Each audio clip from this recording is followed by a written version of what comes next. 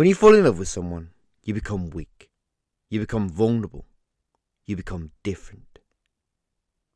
When you fall in love with someone, you lose your identity because another is rising to its place. When you fall in love with someone, sometimes you get the feeling that you once shared something a long time ago, perhaps in a previous life, as seen through a filtered lens.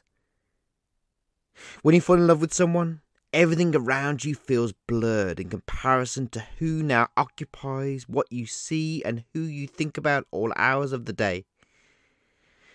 When you fall in love with someone, you instantly believe that nothing and no one could ever compare to them.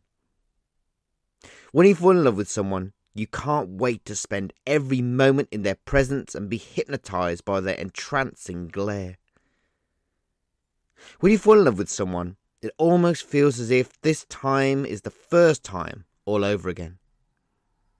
When you fall in love with someone, gravity itself does not feel as strong nor as important as it should, because the force, the energy, the power of love that songs and poetry have been full of since the first poets found a way to capture the transformative journey into the unknown that our soul takes when we all experience the recurring sensation of getting closer to the stars of the sky than to the ground below our feet, because we feel as if we are levitating and walking on air.